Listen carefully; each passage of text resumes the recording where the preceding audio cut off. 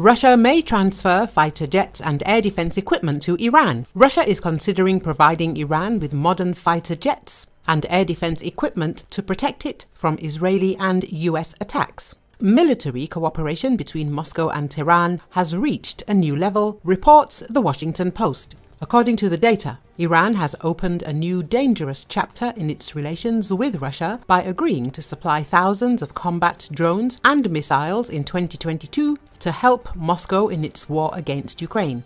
The expanded ties helped cement deals between Moscow and Tehran, including Russia's promise to provide its ally with modern fighter jets and air defense technology that could help Tehran bolster its defenses against any future Israeli or US airstrike. It is unclear how many systems have been delivered and deployed, but the Russian technology could turn Iran into a much more formidable adversary with enhanced capabilities to shoot down aircraft and missiles, officials and experts say. The arms deals some of the details of which have not been previously disclosed, are part of a broader cooperation that includes joint production of military drones in Russia, sharing of jamming technology, and real-time assessments of weapons deployed against NATO and in Ukraine, intelligence officials and arms experts said. According to them, this cooperation brings significant benefits to both countries while elevating Iran's status from a junior ally to a strategic partner.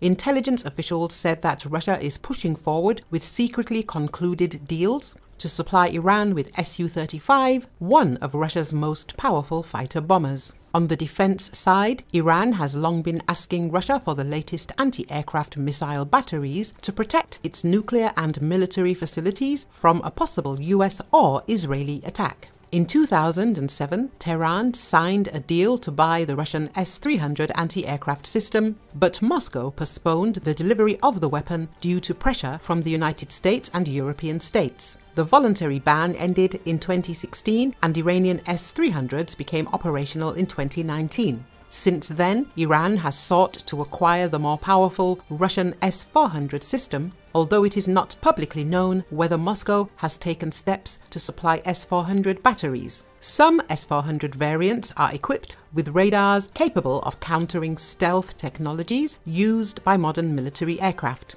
According to intelligence officials, Moscow also benefits from this cooperation. In addition to the thousands of drones purchased from Iran, late last year, Russia agreed to buy about $2 billion worth of additional military goods, including anti-drone defense systems, which have become a top priority for Russian generals in Ukraine.